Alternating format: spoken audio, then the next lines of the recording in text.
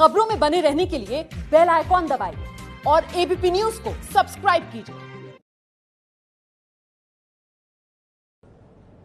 इस वक्त की बड़ी खबर चमकी बुखार से बच्चों की मौत का मुद्दा आज संसद में उठा है। आज सुबह राज्यसभा में बुखार की वजह से जिन बच्चों की जान चली गई बिहार में उन्हें श्रद्धांजलि दी गई।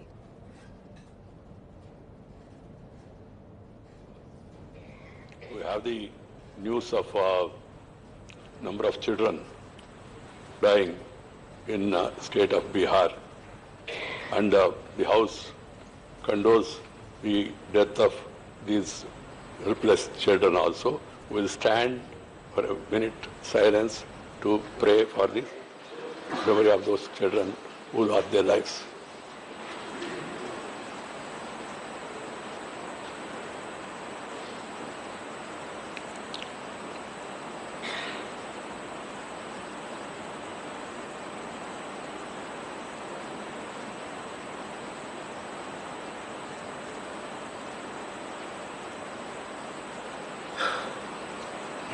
Om Shanti Shanti Shanti.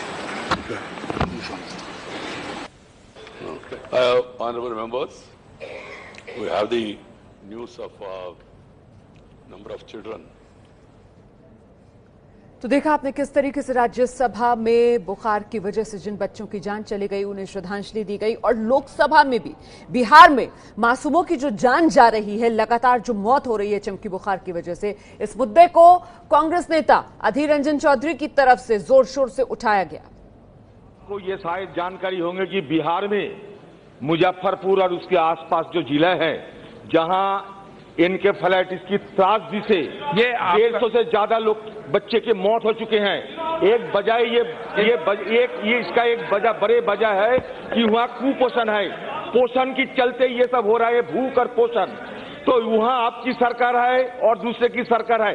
आपको मैं इसकी एक बजाय जानना चाहते हैं दूसरा मैं एक सजेशन देना चाहते हैं कि क्यों ना ये नारा लगाया जाए कि one nation equal nutrition Hon- Honorable Speaker, sir, I would like to tell the honorable uh, member through you that the very fulcrum of the Poshan Abhiyan is one nation dedicated to nutrition.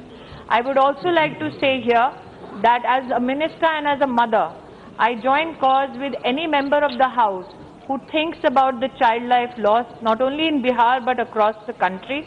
It is our endeavor as a government to ensure that deaths or stunting due to malnutrition is something that we as a nation can curb.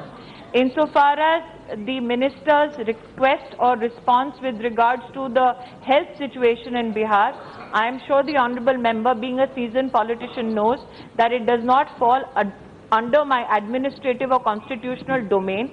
But let it be said that yes, many states have a historical uh, overview about malnutrition.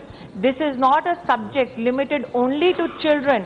It also manifests in an individual as they grow older. This is not a subject related only to food, but also a subject related to sanitation, the Department of Drinking Water and Sanitation, and in convergence with the Ministry of Health and Family Welfare, apart and including Bihar, we have undertaken programs across the country for cleaning hands before eating, for fortified foods, and for providing safe drinking water to our citizens across the country.